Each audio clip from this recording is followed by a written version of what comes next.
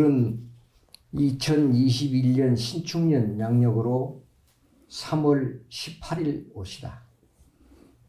오늘 K 문명 포럼을 조직 선포하면서 첫 번째 순서로 종교 간의 대화로 함세웅 신부님을 모시고 말씀을 나누게 되어서 영광스럽게 생각합니다.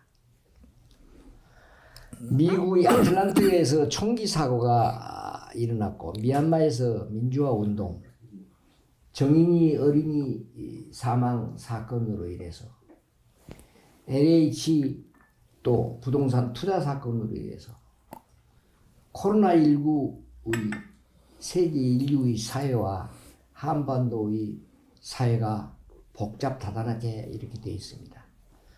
종교를 갖는 성직자로서 코로나19 이후에 국민의 도덕성과 국민성이 더 강해져야 되고 단단해지고 연대와 유대를 가지고 이러한 상황이 이루어진다는 그런 뜻으로 아주 적은 목소리로 아주 적은 장소에서 K 문명 포럼을 오늘 선포를 하게 되었습니다.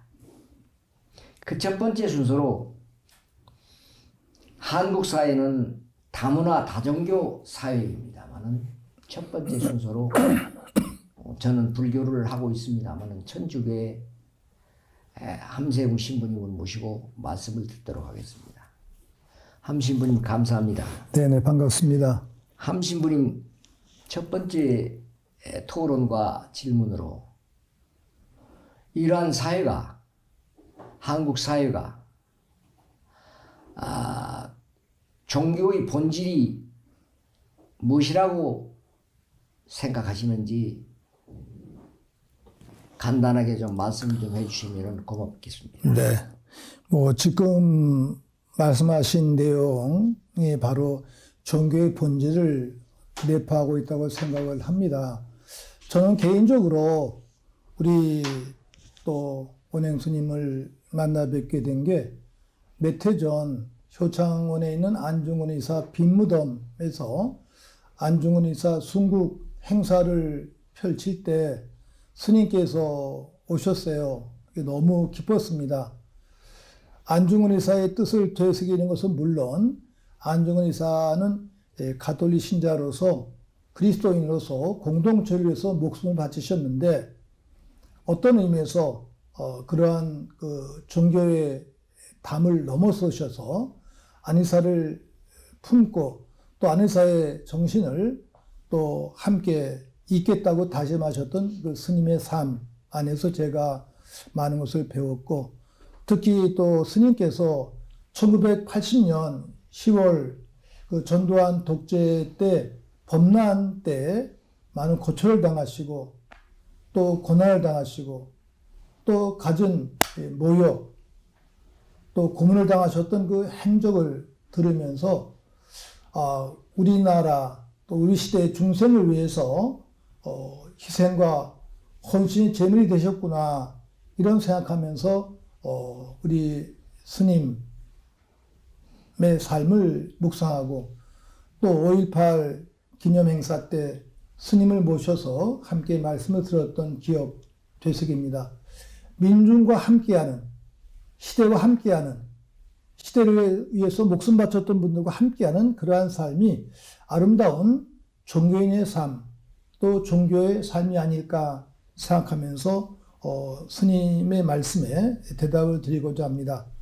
다소 학문적으로 접근할 수 있다면 종교라는 단어의 그 어원은 렐리지오, 라틴어 단어에서 렐리지오라는 단어를 세 가지 관점에서 해석을 하는데 재미있습니다. 하나는 레 리가레, 다시 있다. 사람을 이어주고 하늘과 땅을 이어주고 하느님과 인간을 이어주는 그러한 관계. 두 번째는 레 리제레, 다시 읽다. 그래서 성서의 말씀, 경전의 말씀을 다시 읽으면서 깨달음을 지향하는 그러한 식의 삶에 대한 내용. 세 번째는 레 엘리제레, 그래서 다시 선택하다. 끊임없이 아름다운 삶을 다시 선택해 나가는 그러한 삶. 영적인 삶, 하늘의 삶을 선택해 나가는 삶이 종교다 라고 이렇게 일반적으로 해석을 했는데 막 이런 것은 아마 우리 서구 신학이나 서구 그리스도교 해석일 수 있겠습니다. 다만 저는 한국인으로서 실천적인 측면에서 종교를 이야기할 수 있다면 우리 인간의 삶 자체가 종교가 아닐까 저는 그렇게 해석을 하고 이해하고 있습니다. 인간의 출생, 출생 그 자체가 축복이고 기도이고 또 그 어린 자녀가 성장해서 결혼하게 되면 또 축복을 비는 그 결혼의 과정 또 그 모임 자체가 종교고 살다가 세상을 떠나게 됩니다. 가슴이 찢어지듯 아픈 마음으로 돌아가신 분들을 우리가 기리면서 영생 또는 극락을 우리가 꿈꾸게 되는데 이러한 출생과 결혼과 죽음이라는 인간의 가장 큰 세 과정에 대한 그 기억을 함께 종합하는 그 자체가 종교적 의미가 의미를 지니고 있지 않았을까 생각하면서 인간은 바로 존재론적으로 종교적 존재다. 막 이렇게 제가 해석을 하고 있습니다. 그러면- 감사합니다. 네. 예, 종교를 한문으로 쓰면은 간머리 밑에 보이시자가 한 것이 마루종자라고 그래서 어, 그것이 종자고 갓을 보이는 것이 바로 종자기 때문에 갓을 보였다 그러면 최상의 진리를 보였다는 뜻이고 교라는 것은 에, 가르칠 교자인데 효도의 그런 문자 한자가 교인데 효선하는 진리 갓을 보인 최상의 진리를 효순하는 음, 그러한 것이 종교라 이렇게 에, 한문으로 해석하는 그런 부분도 있습니다만은 종교는 마르크스는 유물론자로서 그 아편이라고 말씀했고 프로이드는 공포심에서 나온다 그러는데 인간으로서 내재된 인간성과 신성 또 어떤 분은 동물성 이런 부분이 있다고 합니다만은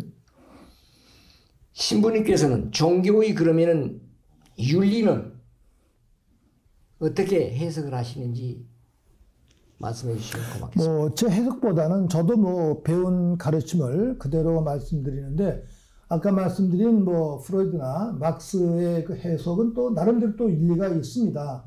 근데 저는 종교에 대한 해석은 우리 70억, 80억 인구의 수만큼 그렇게 종교에 대한 설명과 해석도 다양하지 않을까. 여기서 아마 종교 다원주의도 가는 것 같은데 사람의 모습이 다 다르듯이 생각이 다르듯이 종교에 대한 해석과 이해가 다르다 생각을 합니다. 그럼에도 불구하고 함께 추구해야 될 가치, 또 함께 지녀야 아름다운 가치, 양심, 진리, 정의라는 가치가 있습니다.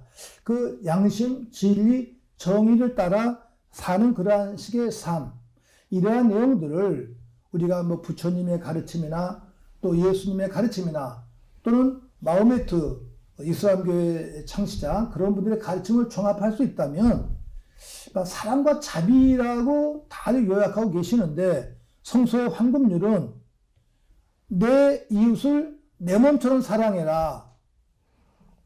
내가 원하는 것을 먼저 내 이웃에게 해주어라. 내가 원하지 않은 것을 이웃에게 해- 하지 마라. 그러한 그 사랑의 황금률, 이것이 부처님의 가르침이나 예수님의 가르침이나 마호메트의 가르침의 핵심이 아닐까, 이렇게 생각을 합니다. 자기가 원하는 것을 먼저 이웃에게 해주는 그러한 식의 삶이 바로 종교 윤리의 기본적인 토대가 되고, 이러한 내용들을 우리 구약성서나 신약성서에서는 그리스도교에서는 하늘사랑, 이웃사랑, 그리고 그 내용도 십계명이라고 얘기하면서 가르쳐 주고 있고, 그리고 하늘, 하늘과의 올바른 관계 설정, 인간과의 올바른 관계 설정, 그 나아가서 자연과의 올바른 관계 설정, 이런 내용들이고, 이걸 또 세례 원리에서 종합을 했었다면 평등의 원리를 실천하는 것, 평등을 지향해야 되는 것, 막 이런 것을 우리가 종교 윤리의 핵심이라고 해석할 수 있지 않을까. 저는 그렇게 생각합니다. 감사합니다. 특히 이 한국 사회는 다문화 다종교 사회로서 종교 간의 그러한 대립과 어떤 것보다는 서로 지고의 선을 추구하면서 같이 이렇게 걸어가야 되지 않을까 그런 생각을 하면서 과거에도 16세기에 패스트로 인해서 어, 그 당시에 십자군 원정으로 인해서 제 많은 부분들이 어려움이 있을 때 거기에 르네상스가 일어났습니다. 그러한 방법으로 다시 코로나19 이 상황 속에서 우리 전 인류와 특히 한반도 5천만, 8천만 민족이 이것을 딛고 새로운 어떤 그런 방법으로 어, 지도자들이 나가야 되고 그 중심에는 음, 종교와 또 그런 성직자들이 있어야 될까 그렇게 생각을 해보는데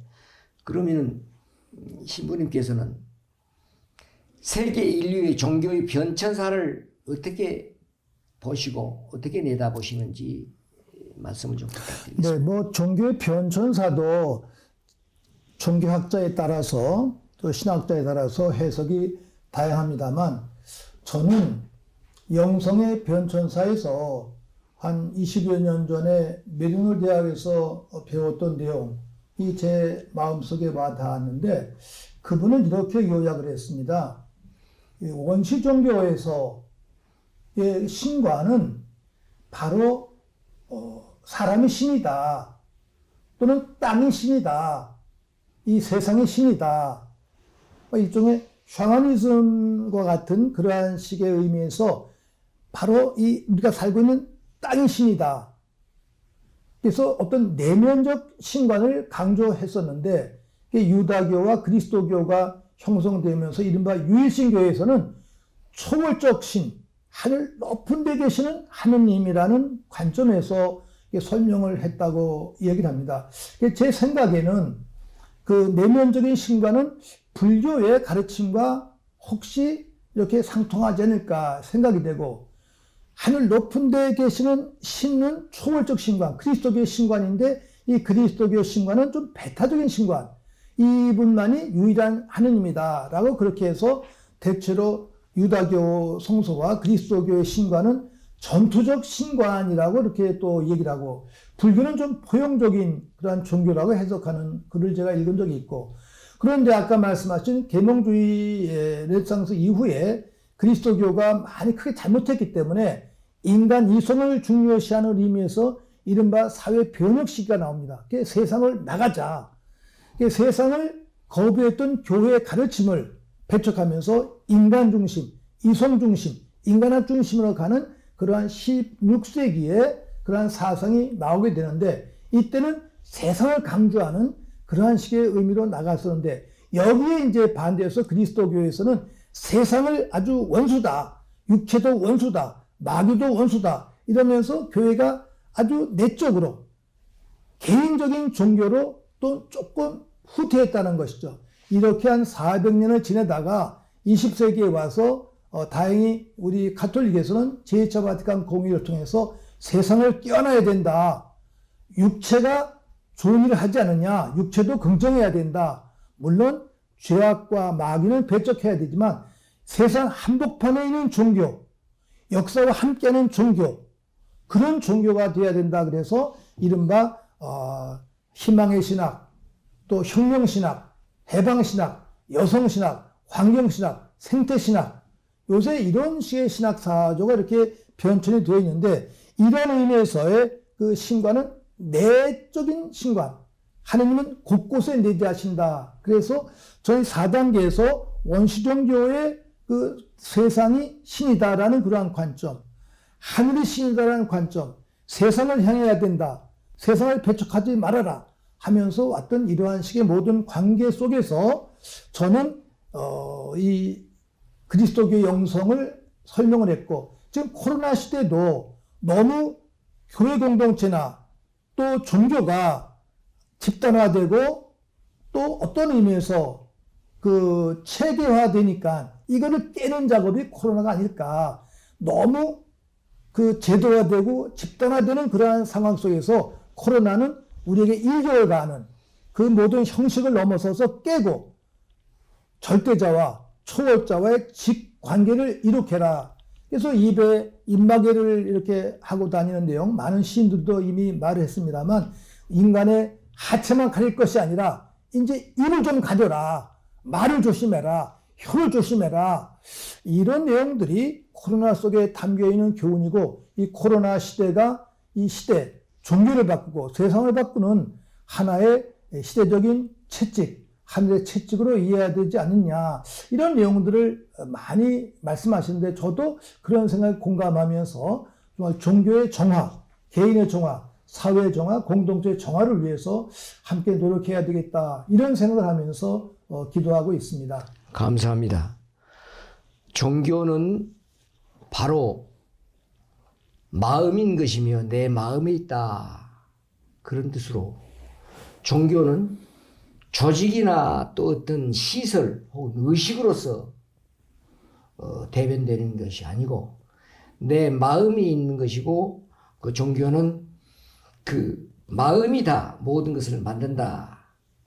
그러게 마음을 속옷을 찔리면은 제일 첫 번째 들어가는 것이 이제 에, 그 끝부터 들어가는 것이고 쌀을 까불면 가벼운 그런 그 견은 날아간다고 그럽니다.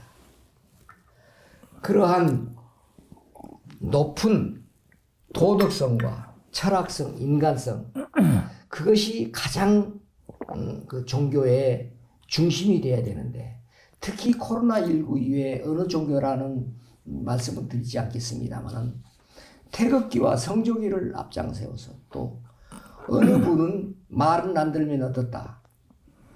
또 어느 저기는 말은 안 들면 어떻다. 이러한 그 어, 부분이 있었고 어, 또 여러 가지 그러한 부분이 다문화 다변화된 이 한국 사회에서 특히 코로나 19에 한국 사회가 또 인류 사회가 굉장히 복잡하게 돌아가고 있는데 그 중심에 종교가 있어야 되고 성직자가 아, 제 목소리를 해야 되고 그래야 되는데 이와 같은 상황이 코로나19로 인해서 1년이 넘었습니다만은 백신과 더불어 이렇게 치유합니다만은 그 내심에 있는 국민의 마음을 계도하고 계몽하고 이끌어가는 것은 많은 숫자가 아니고 많은 시설이나 조직이나 어떤 그런 저기가 아니고 그러한 국민 속에서 어, 그러한 중생 속에서 그런 어려움 속에서 시장 속에서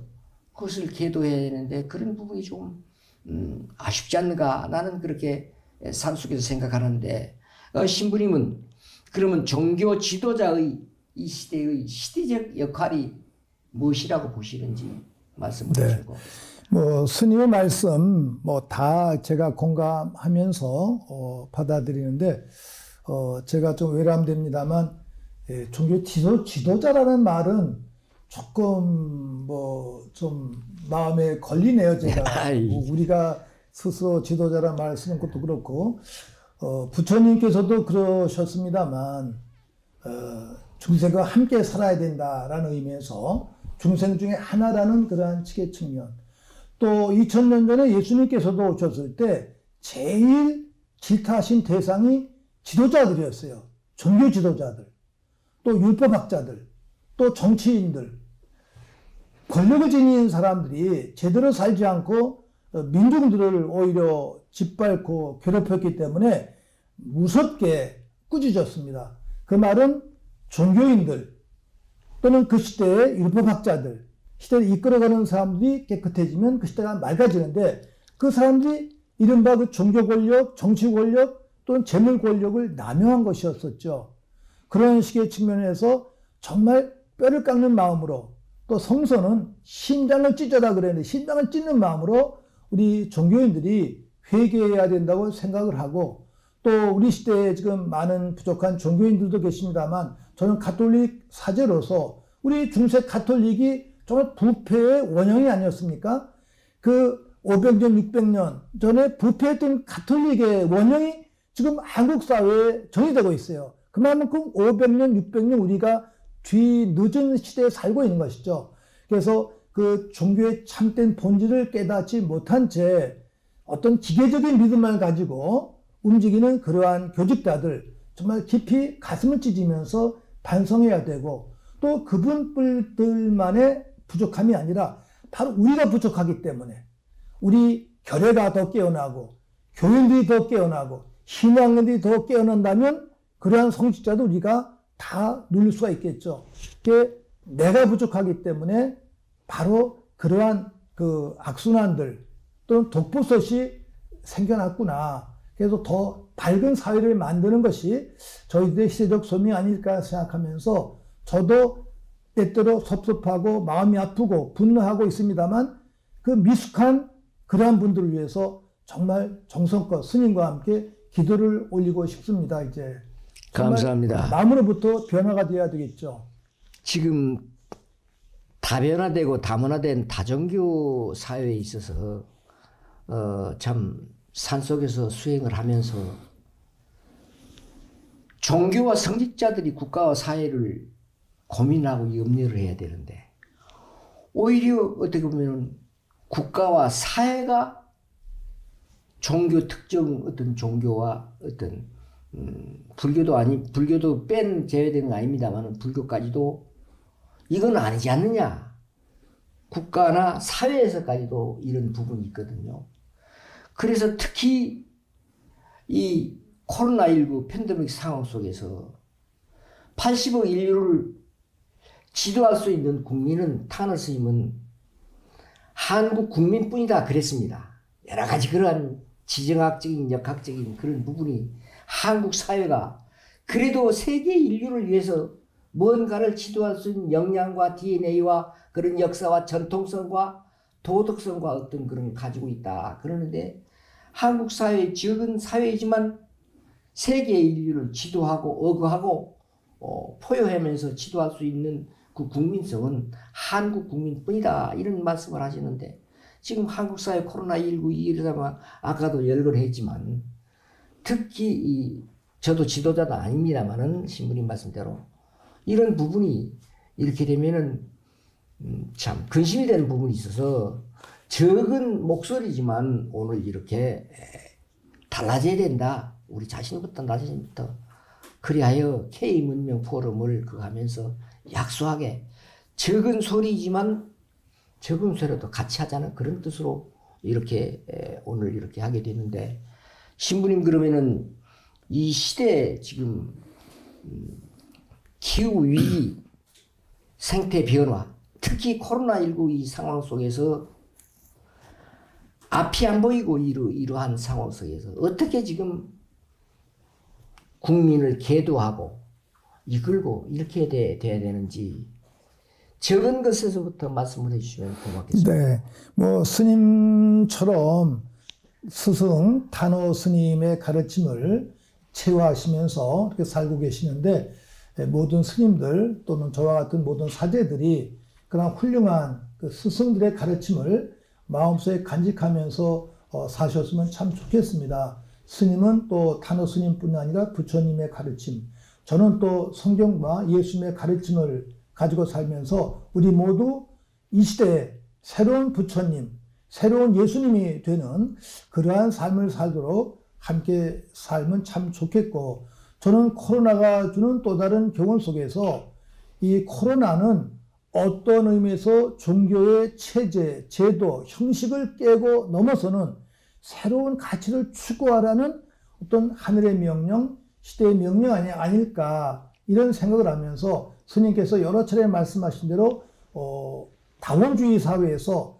나도 중요하고 내 생각도 중요하지만 다른 사람의 존재, 다른 사람의 생각, 다른 사람의 종교적 가치도 훌륭하다는 것을 인정하면서 함께 살 수 있는 공유적 가치를 지녀야 된다는 측면 늘 마음속에 간직하면서 스님 말씀에 제가 혹시 하나 덧붙일 수 있다면 오늘 어제 아마 미국의 국무장관, 국방부 장관이 한국을 방문해서 외교부 장관도 만나고 국방부 장관도 만나고 오늘 이제 대통령도 방문했다는 소식을 듣고 왔는데 그 국무장관, 국방부 장관, 특히 국무장관이 아주 제가 듣기에는 우리 한국인으로서 아주 불편한, 무례한 그러한 얘기를 한 것 같아요.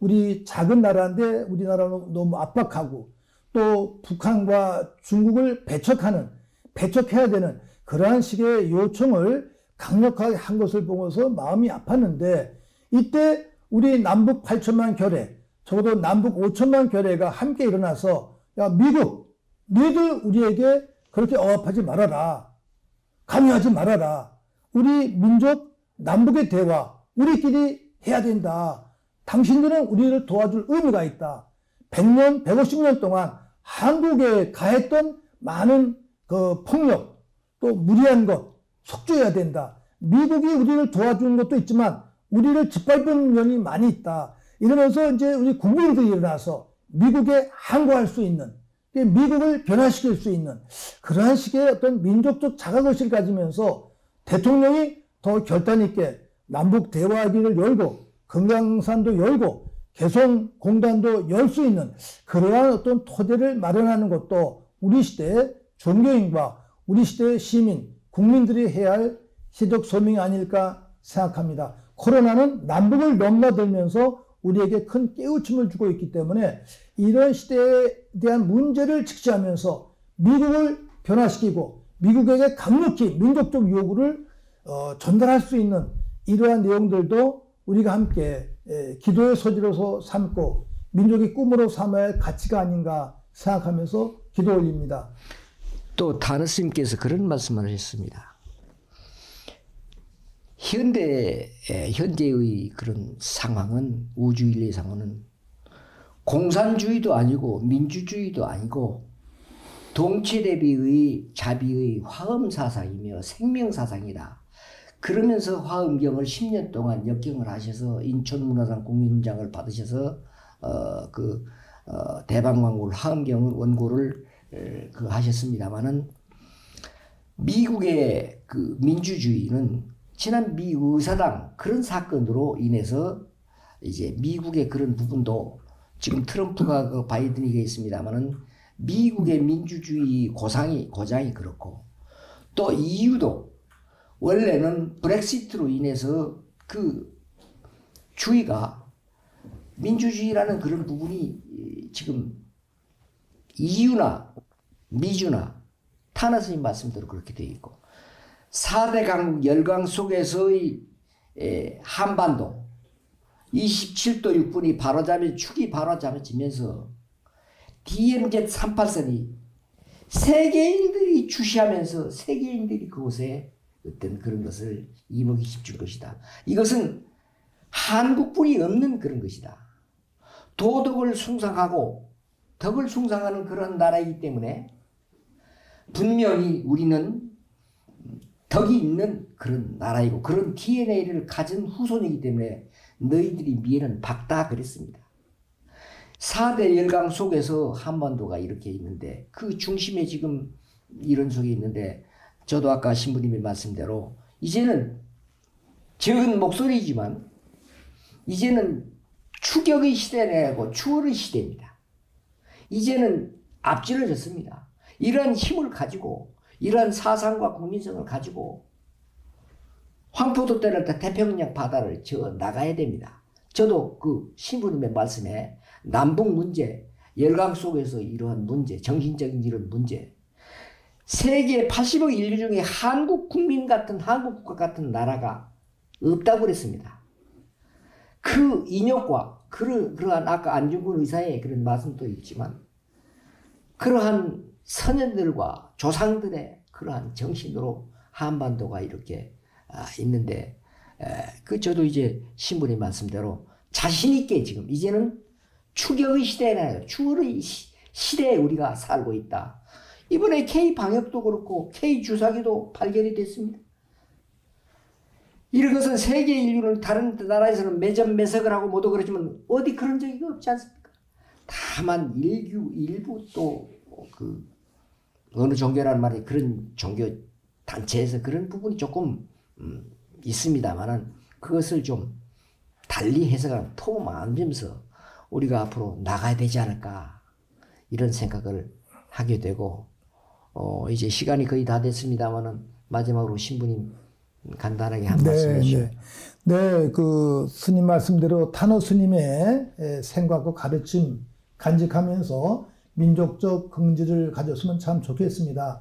문재인 대통령이 평양 시민 앞에서 하셨던 그 말씀, 김정은 위원장과 백두산에서 두손 높이 들었던 그러한 정신과 아름다움, 그걸 가지고 오시자마자 개성공단을 열고 금강산을 열었어야 되는데 그 적기를 놓쳤어요. 호기를. 그게 늘 아쉽고 가슴이 아픈데 정말 용기 있게 과감하게 우리 땅, 우리 손으로 우리가 왔다 갔다 하자라는 그러한 결기를 가지고서 미국의 그 모든 미숙한 가치를 우리가 남북 8천만 원 교역 앞에서 이겨내야 되는 것.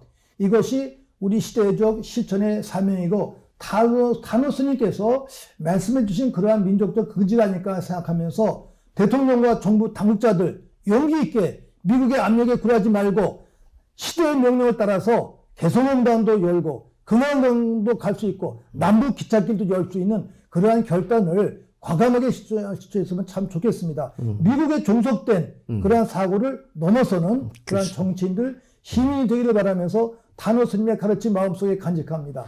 어느 때는 일본에 그렇게 하고 어느 때는 중국에 그렇게 하고 이제는 미주에 그런 게 그럴 필요가 그런 적이 없어요. 이제는 네, 네. 추격의 시대가 아니고 추월의 시대이기 때문에 바른 생각을 가지고 바르게 나가면은 한국 민족 미래는 밝다 그랬으면 후손들은 밝다. 그래 대해서 방탄소년단의 그러한 그 어, 노래가 있고 손흥민의 그런 축구에 했던 그런 부분이 있고 이 지난번에는 기생충 그러더니 이번에 미나리 같은 그런 저기가 있듯이 한국 민족의 DNA와 이 덕성과 이런 것은 이 세계 인류가 이런 것을 에, 본 받을 수도 없고 그렇습니다. 네. 아, 그 속에 에, 아까 말씀대로 어, 한국의 정치 지도자나 아, 또 대통령을 비롯한 이런 분들이 자신 있게 이 질책할 건 질책하고 이렇게 해 나갔으면 한국 사회가 밝아지지 않을까.